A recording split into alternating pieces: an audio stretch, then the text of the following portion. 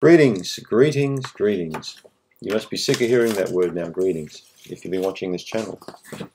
Eric Bakker, thanks for coming back. We're going to talk about serotonin, so what it is, how it affects the body, how it affects the gut. So you've probably heard of the word Prozac. I think they've dumped that name now because they, you know, these companies who make these kind of drugs had a hard time trying to keep peddling this stuff, so they keep changing the name. I think they call it Sarafem now or something else. It's like changing Coca-Cola to some other name because you can maybe people get sick of drinking this stuff and you want to make more sales. So the thing is, it's an antidepressant, or if you're an American, antidepressant. So serotonin basically is a very, very interesting hormone when you think about it. When you hear that word, the first thing you think about is depression, but in fact, it does way more than work as an antidepressant. So it comes from an amino acid, tryptophan. Right? Tryptophan is the key thing that helps to make serotonin. And when we think about it, SSRI drugs, or selective serotonin reuptake inhibitors, are drugs that are given to people to flood their system with, with a, a, sort of fake serotonin. This prolongs the life of serotonin in your body by preventing it from breaking down in these synaptic junctions.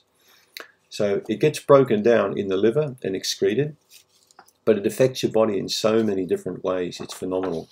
About 85 to 90% of serotonin is made in your digestive system.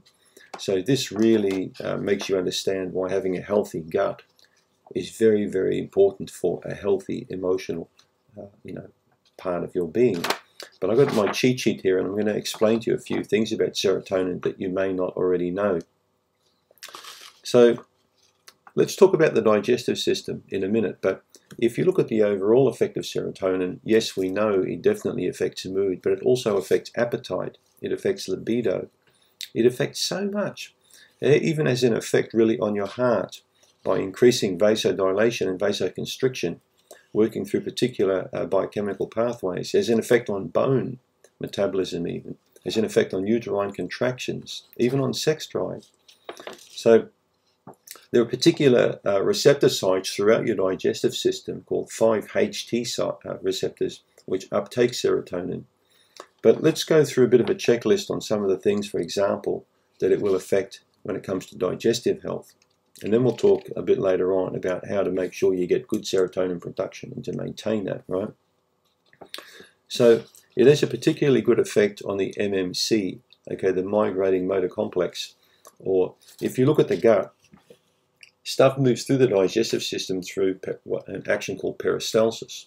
But there is also another action that acts like a broom that happens between meals called the MMC, which moves stuff through there. So this helps to regulate appetite and digestive control. But the MMC also has a very interesting effect on making sure that you poop properly, that you don't have too many loose stools or firm stools.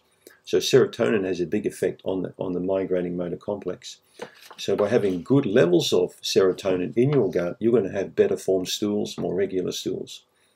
And often I find that people who have got very upset tummies all the time or very bad problems with constipation or diarrhea to some degree have a serotonin imbalance. And of course that can affect their mood, you know.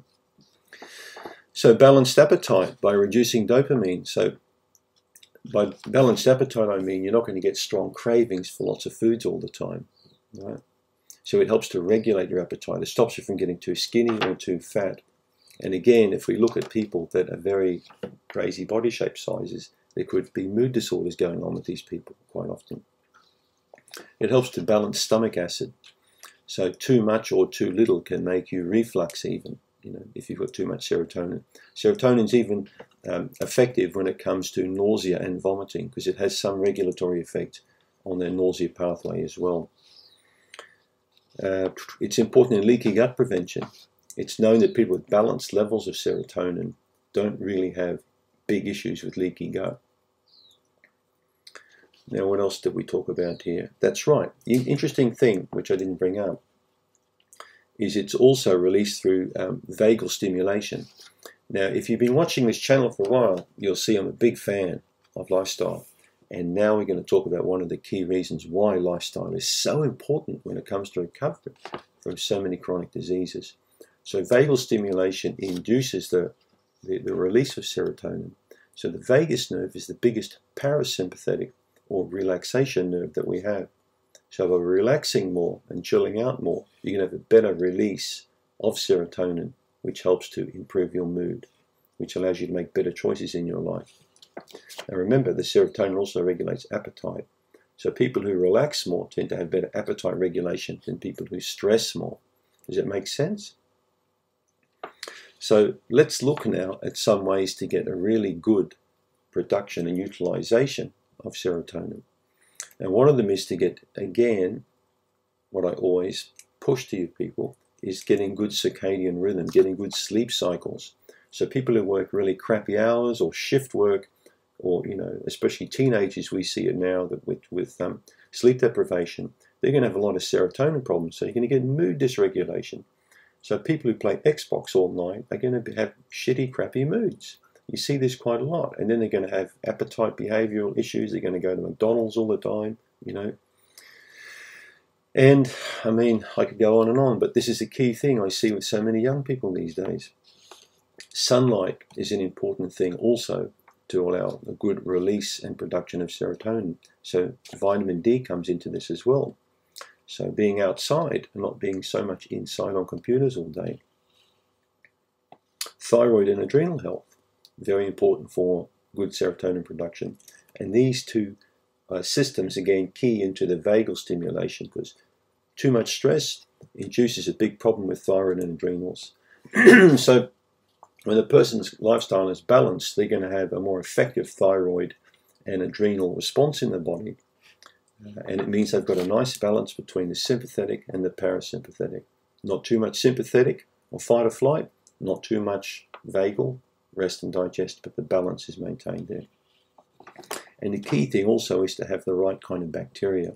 So the microbiome in that area is one of the biggest parts of serotonin production in the body. About 70% of serotonin is produced in the small intestine. So by having a good balance of bacteria in there, you're going to ensure a good production of serotonin and utilization, you know, the entero, what are they called again? Enterochromathic cells. Enterochromaffin cells are where a lot of this is produced in the gut. And there are multiple receptor sites throughout that small intestine as well. So by having this good bacterial balance, not too much candida, you know, not too much dysbiotic flora, by having the balance there, the serotonin production and utilization is going to be you know much more favorable of course. Now some of the key things that you want to be looking at in your diet are the B vitamins to ensure good production. B1 B3 uh, B6 B9 which is folic acid uh, B12 but also calcium magnesium and zinc selenium and multiple trace elements so you can get this through a multivitamin but more effectively you're going to get it through a proper diet healthy diet, which I've again always spoken about on this channel. And the other key thing is exercise. So there are many studies now that prove that people who exercise regularly and who sleep uh, will sleep better and have better mood. Isn't that funny? We've just discussed all that with serotonin. So, and again, just to recap on all those things, if you've got a good balance in your life of sleep, exercise, eating healthy food, if your digestive system is in good shape, you're going to have a better mood. And serotonin is one of the key hormones that helps to regulate that mood. So I hope you got some useful information out of this video. Thanks for tuning in.